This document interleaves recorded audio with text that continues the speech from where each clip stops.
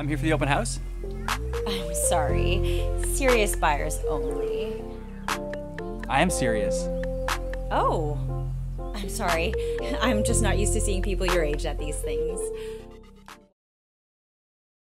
Millennials have been mocked for years for avoiding adulting, but times are a changing. A record number of millennials are buying their first homes. They represented 37% of all home buyers last year, cashing in on low interest rates. It's still a good time to buy, but if it's your 2020 resolution, you need to prepare before taking the plunge. It's always a good idea to adjust before it's real. You know, thinking about what your payments may adjust to, what your mortgage would be, how your expenses could go up, and practicing that a little bit ahead of time and figuring out sooner than later where you could make some adjustments, where you could make tweaks in your budget. And if you could actually save that theoretical mortgage payment every month starting now, it's going to require trade offs, right? But I think that if you really commit to this goal and you get excited about it, that you can anchor a lot of your other financial decisions around it. So things that would normally feel like,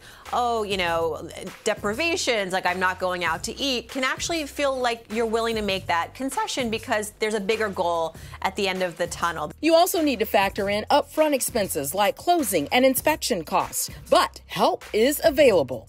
Know that there are often resources for for first-time buyers, uh, whether that's a nonprofit in your town, a government agency offering first time buyer relief programs. So tapping into those is really important. And secondly, negotiating. I think that knowing that it's a buyer's market in many markets, could you talk to seller to your seller about maybe having the seller take on some of these costs? Chase Home Lending can help you better understand the process and navigate your options free of charge. Go to chase.com slash mortgage.